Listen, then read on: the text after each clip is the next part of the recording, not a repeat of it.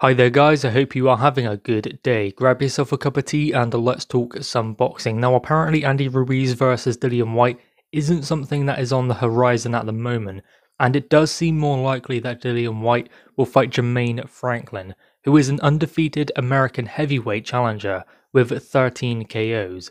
So it seems like Dillian Whyte will be going out to the US, but Andy Ruiz isn't a likely opponent at the moment because negotiations are not underway, and that is according to Ruiz's attorney, I believe, and he said, No, we are not holding talks regarding a potential fight with Dillian Whyte, although I believe Andy would welcome the opportunity to fight Mr. Whyte one day. So, there we go, it is a genuine possibility that these two guys do get in the ring, but it's not one at the moment. I believe both of them are at different points because Ruiz is building back towards a world title opportunity, Whyte should be literally a fight away or two fights away, depending on how many fights he has this year. You would expect Dillian Whyte to be called as a mandatory next year because if he doesn't, then what is going on? What is the situation with the WBC? Because he must get his opportunity at some point. And if it doesn't come next year, then when is it going to come? Is Dillian Whyte wasting his time by sticking with the WBC? You have to wonder that at this point. But one good thing for Dillian Whyte is there is always going to be a fight with Anthony Joshua because that's a big one. I mean, it is a long anticipated rematch between the two of them, so we'd be intrigued and we'd want to watch it. So there is a chance for him to get a world title opportunity with AJ. But with regards to his WBC opportunity, who knows? How can we know what will happen? I mean, based on what has happened in the past, you would expect it not to happen more so than it to happen because Dillian Whyte hasn't really been all that respected by the WBC based on the situation currently and in the past two or three years, being number one, then someone else being called as mandatory, Tyson Fury being ordered, or Deontay Wilder being ordered to face Tyson Fury again after their first fight on December 1st, 2018. I mean, they ordered that rematch why? I mean, I know that it was close, it was a draw, Tyson Fury won that one, but still, if they were going to order anyone, it should be Dillian Whyte, not a rematch with Tyson Fury. So I don't really get that situation with the WBC and the agenda they have with Dillian Whyte. They seem to want to sideline him. They're happy to give him the WBC interim status, but no more. They don't want to give him that opportunity to finally get to where he wants to go. And he's given a lot to the WBC, he's constantly stayed loyal to them, yet nothing has come of it. And his hard work, taking the tough fights, the Joseph Parkers, the Oscar Rivas, the Alexander Povetkins, fights that could trip him up, one that did against Povetkin, but he won the return. He has taken those risks. That needs to be rewarded in some way because aside from that, has Dominic Breazeale done that? No. Has Luis Ortiz done that? No. And those are the type of guys who get the opportunity to face Deontay Wilder. I know that Wilder is no longer champion, but still, you can see it from that side that these guys get the opportunity, all for facing lower level opposition and building their way up. They get that kind of chance.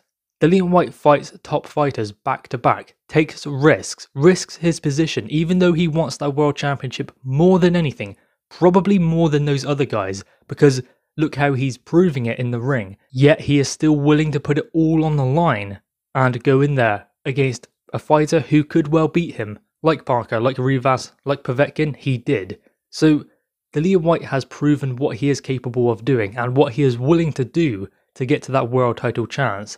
Now it's time for the WBC to honour their word, I guess, and give him that chance. I mean, in the position we are currently in, with Tyson Fury and Wilder being postponed again, you would expect them to say, okay, Tyson Fury is now champion in recess, Dillian Whyte is now full champion and will defend against Deontay Wilder.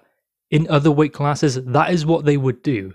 But this time, they're not going to do it, which asks a lot of questions about the WBC and their loyalty to Dillian Whyte, because Dillian Whyte has shown it to them. Now it's their turn to show it to him. But with regards to his next fight and Andy Ruiz Jr., that doesn't seem something that will be on the horizon anytime soon. Not this year, and next year he's going to be going for a world title. So that's why I say they're on different courses.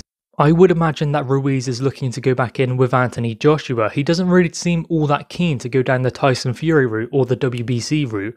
Maybe he has seen what's happened to Dillian Whyte and thought, nah, I'm not too keen on that. Or maybe he just believes that he beat Anthony Joshua once, so he can do it again. So maybe there's that kind of dynamic there, although AJ did conclusively outbox him in the rematch. Still, maybe he just thinks there's more money it's a bigger fight, it's a trilogy fight with AJ, so that is what he is looking for. Even when he was coming back and losing weight, he said in one of his workout videos, This is all for you, AJ.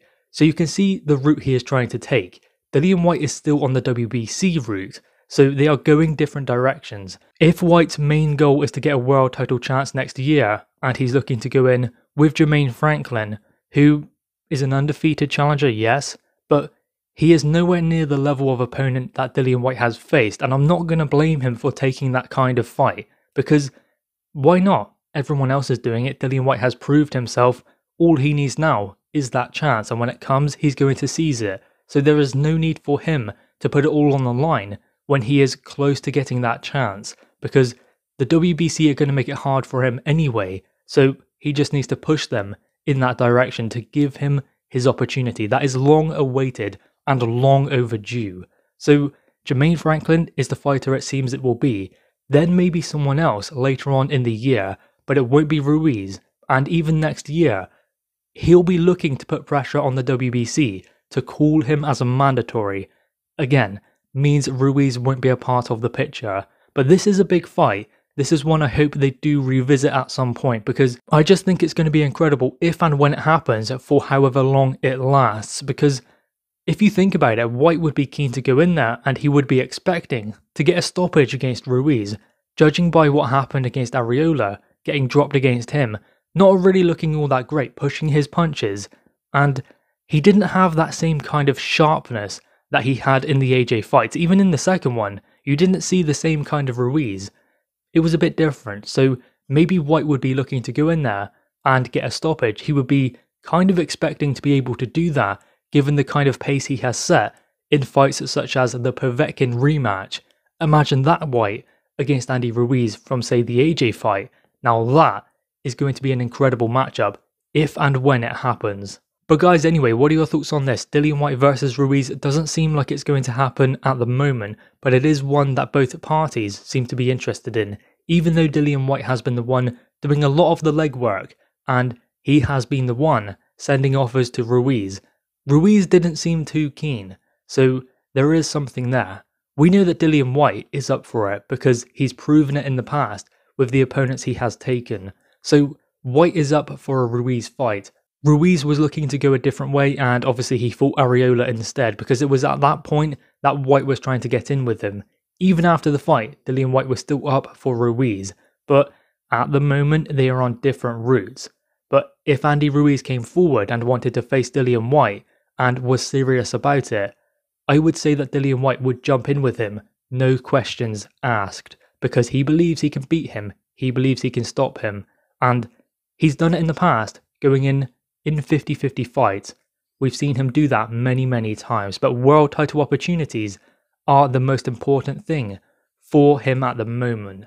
Anyway, guys, drop your thoughts on this in the comments below. Also, leave a like and grab that subscribe button. Thanks, guys.